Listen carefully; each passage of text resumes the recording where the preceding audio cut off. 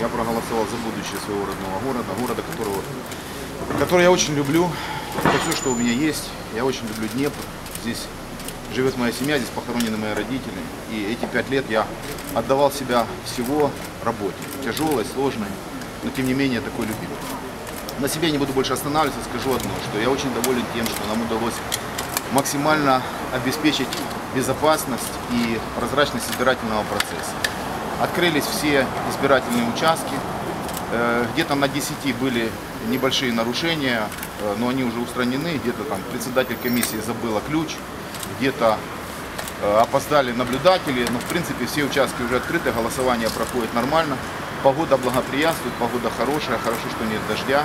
Есть небольшие очереди наблюдаются, но я думаю, что это как бы первая волна избирателей, которые хотят прийти проголосовать и потом идти заниматься своими делами. Дальше я думаю, что э, голосование уже будет без очередей, надеюсь на это. И к вечеру мы опять же ждем новую волну, когда люди начнут возвращаться с дач и уже готовиться к новому трудовому тыжню.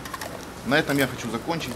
Спасибо вам всем большое. И я надеюсь, что сегодня город достойно проголосует. У нас не будет никаких эксцессов. Я все время на связи с национальной полицией. Есть, хотелось бы сказать отдельные слова благодарности за то, что они обеспечивают на избирательных участках охрану правопорядка. Спасибо и встречаемся уже после 20 часов в телемарафоне, который будет организован на Днепр ТВ. Спасибо. Верно.